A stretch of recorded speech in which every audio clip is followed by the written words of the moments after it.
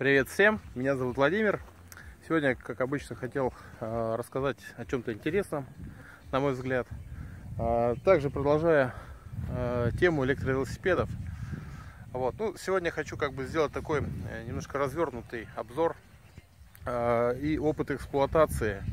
Вот. Ну, опыт эксплуатации порядка сейчас трех месяцев. Вот. Ну и все как есть рассказать, плюсы, минусы и так далее. Ну, поехали. Итак, по велосипеду. Значит, что произошло за эти три месяца? А, поменял вилку. Вилка вот здесь вот обломилась, когда ехал на горку. Динамично, так скажем, так попал в ямку и просто вот здесь вот в этом месте она обломилась, все, и сломалась, и чуть не, наверное, ну, не упал. А, вот. Ну, благо вовремя среагировал, все нормально. Значит, так.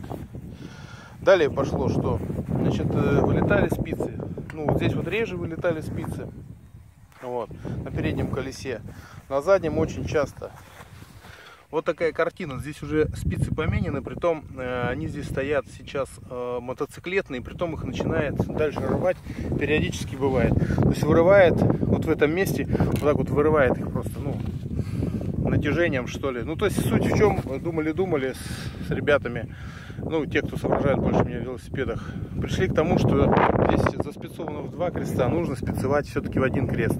Вес мотора, видимо, играет роль, и где-то на кочках, ну, просто вырывает их. Ну, очень неприятно, когда едешь, и дзынь-дзынь, звук такой. Все, смотришь, одна спица, вторая, ну, неприятно. Вот, ну вот, и даже мотоциклетные тоже вырывало. Так что вот, кто будет делать, делайте в один крест спецовку. Вот такой нюанс. Значит, по, по резине что хочу сказать. А, резина была обычная. Очень неприятно один раз проколол вдалеке, скажем так, цивилизации. И это... Ну и все, перся пешком потом неприятно. Сейчас поставил Сейчас, вот такую вот резину. Она не прокалывается. То есть эта тема, все-таки спицы там, ладно, вылетела, доехала, а вот когда резина прокалывается, это все э, очень неудобно, если мотор этот снимать, э, клеить, это пиндец. А если, а я еще попал в такую ситуацию, когда колесо прокалывал, был дождь и было темно ночь. Ну нереально просто клеить, и пешком я оперся. Вот, то есть это из, скажем так, нижней части. А далее, тормоза. Тормоза, в принципе, э, более-менее нормально, но э, в идеале, конечно, поставить тормоза помощнее, побольше. Вот, то есть, как бы работают исправно, все хорошо. Э, далее, что еще хочу сказать? Далее, далее, далее. По сидушке. Вот данная сидушка зарекомендовала себя достаточно неплохо, учитывая то, что здесь нет амортизации на задней вилке. Вот, ну, на самом деле жестко, сразу скажу, ребята, кто хочет кататься по нашим российским дорогам, ну, в частности, я в Омске, в городе Омске ужасные дороги, очень дискомфортно, ну, неприятно просто, вот. И даже сидушка вот такого плана, она не спасает, э, на кочках приходится привставать вот на педалях, вот, ну, как-то так ехать уже. Поэтому рекомендую все-таки делать двухподвес, если дорога, тем более если где-то сельская, двухподвес рулит. А так, ну неприятно, некомфортно. Ну и опять же, нагрузка э, на, на спицы, видимо, еще из-за того, что нет амортизации и спица рвет. Крылья, крылья. Вот сейчас велосипед, видите, в каком виде? Есть я э, вчера катался в дождь, скажем так, попал в дождь. Вот. Ну и вот так все это выглядит. В принципе, э, без крыльев это было бы жесть. Э, вот. Здесь задувало мне, но не сильно.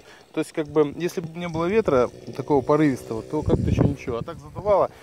То есть, вот эти вот наколенники, они вот, вот так вот были покрыты, ну, как бы, вот, такой, вот такими вот каплями грязи.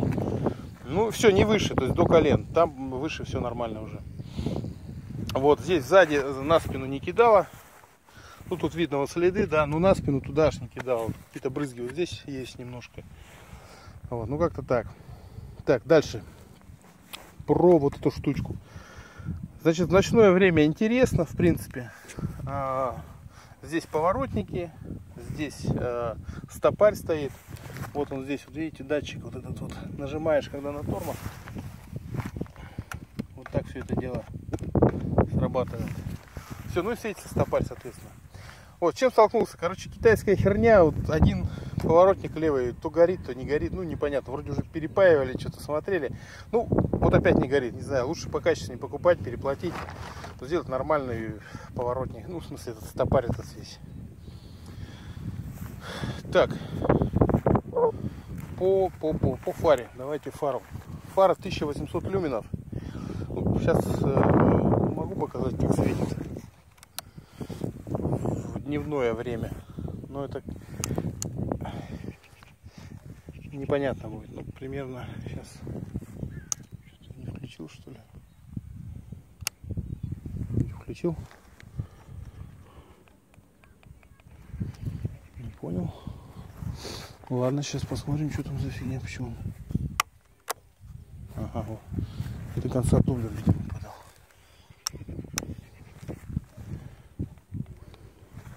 Вот так светит. Это максимальная яркость. 1800 люминов. Это средняя, ну, в два раза она меньше. И такой стробоскоп. Вот, значит, э, плюсы, в принципе, ярко, днем ярко, люди даже, ну, типа, машут, типа, выключи эту фигню. Вот. Ночью, э, если едешь на небольшой скорости, километров 30, то еще как-то ничего. А если быстрее, то пятно надо, ну как, выставлять уровень фонаря дальше, чтобы он светил. Ну и слабовато, на мой взгляд. Надо мощнее фару. Ну и, и пятно очень э, узкое, скажем так. Надо шире. Вот такая вот фигня. Вот поэтому на следующий велик, сейчас я собираю следующий велик, будет уже более мощная фара три раза мощнее. И там будет три вот таких элемента. Вот, посмотрим уже по факту. Так, с тормозами сказал. А, ну вот ручки тормоза были обычные, мне поставили другие вот веломастер. Такие коротенькие, они цепляются хорошо. Вот такие зацепы очень удобны. Вот так вот зацепляешь. Вот. Значит, вот эти штуки, вот эта вся система, она, в принципе, громоздкая и неудобная. Ну, это типа мотоциклетно-мопедная. Вот, соответственно, зеркала тоже мотоциклетные стоят. Тоже неудобно. То есть, видите, они выходят насколько из-за уровня руля.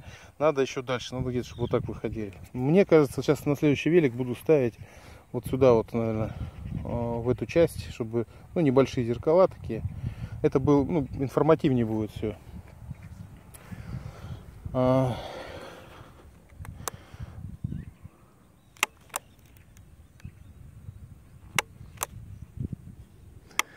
Вот. Ну, так, здесь все сказал.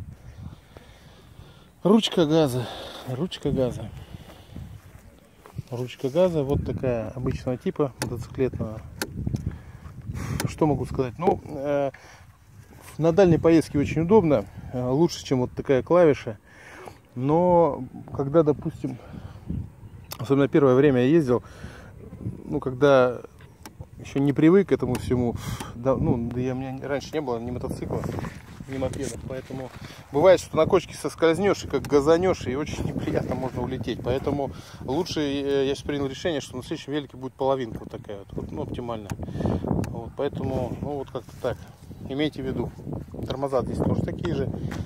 А вот, переключалку мне скоростей поменяли, ну, педалями в пользу срезка на одну скорость поставил, ну, так и едешь как бы. Ну, можно вот простого, простого вида, чтобы она была не громоздкая, без таких наворотов. Опять на руле вот куча была всякой фигни. Вот, ну, как бы так. Но, все, если надо, там уж повернул, переключился. Вот она ну, маленькая, удобная. Далее, что еще рассказать? Так, расскажу про... Есть сигнализация. В принципе, удобная штука. Вот такой вот брелок резкость не наводится. Ага.